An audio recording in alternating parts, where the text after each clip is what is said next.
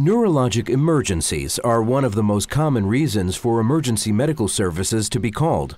Among those calls, about 5 to 10 percent of all EMS runs are for patients experiencing a seizure.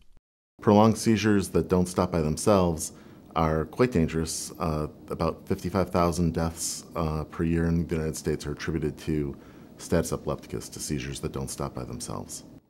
To study these and other neurologic emergencies and the best ways to treat them, the National Institutes of Health created the NETT, Neurologic Emergency Treatment Trials Network.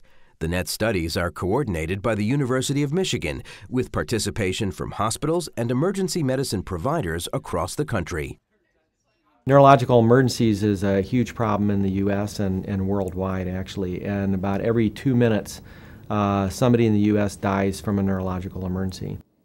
The latest NETT study findings, published in the prestigious New England Journal of Medicine, looked specifically at emergency treatment for prolonged seizure. The University of Michigan is the clinical coordinating center for a multi-center clinical trial that we call RAMPART, which is the Rapid Anticonvulsant Medication Prior to Arrival trial. RAMPART was a study to look at the use of intramuscular injections rather than IV injections to stop seizures in patients who were having seizures that wouldn't stop by themselves when treated by paramedics. The purpose was to see if the IM shots were as safe and effective as the IV injections, but what was really exciting is that we found out that the IM shots were not only as effective, they were actually a little bit better at stopping seizures prior to arrival in the emergency department. It also showed that patients who got the intramuscular medication were more likely to be well enough to be discharged from the emergency department rather than admitted to the hospital than patients that got the intravenous medication. What would happen is paramedics arrive on the scene of a patient who's seizing. They would assess the patient by their local protocols.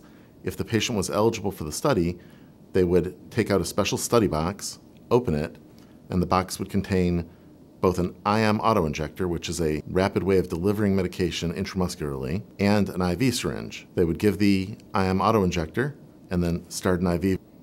In each case, patients got active medication for their seizures. In half the patients, the active medication was in the IM autoinjector.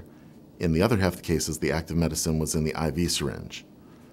Neither the paramedic nor the patient would know which of the two syringes had the active medication. The implications of this for paramedic practice are pretty significant. This is clearly, I think, an evolution in the treatment of seizures by paramedics. It's not revolutionary, but it's a newer, better way of doing things that uh, I think will be adopted widespread across the country.